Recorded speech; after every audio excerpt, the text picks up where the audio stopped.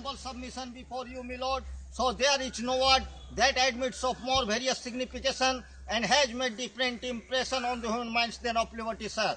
So India is a rich country where live poor people. If India is a rich country, then how living here poor people? It is a burning question written by the Professor Kamte in the Sociology of India. So according to the Constitution of India, we want fundamental rights of the general citizens, particularly about the citizens of India. We want selection of the unemployed youth in different branches of government of branches, selection of the unemployed youth in the different services. Particularly it is demands of the Republic of India. Particularly, sir, before you, my lord, in your stable, it is my request before you, sir.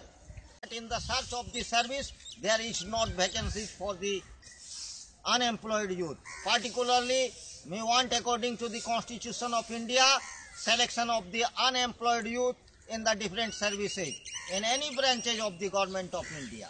Particularly, sir, it is major aspects of me. Particularly, sir, I said before you, so public is the main power. Without voting power of the general public, there is not establishment of the new government. We want selection of the unemployed youth in any services.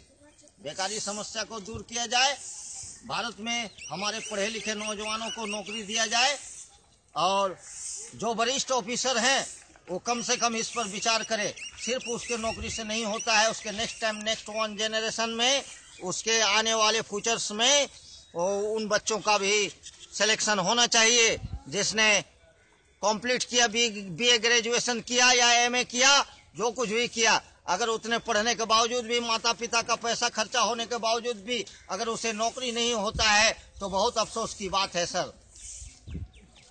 मुझे उन नौजवानों का नौकरी चाहिए selection चाहिए, मैं उसे अफसर के रूप में देखना चाहता हूँ। It is my dream point sir next one coming future wish you best luck and happy journey a lot of salutation to you sir. Nice to meet you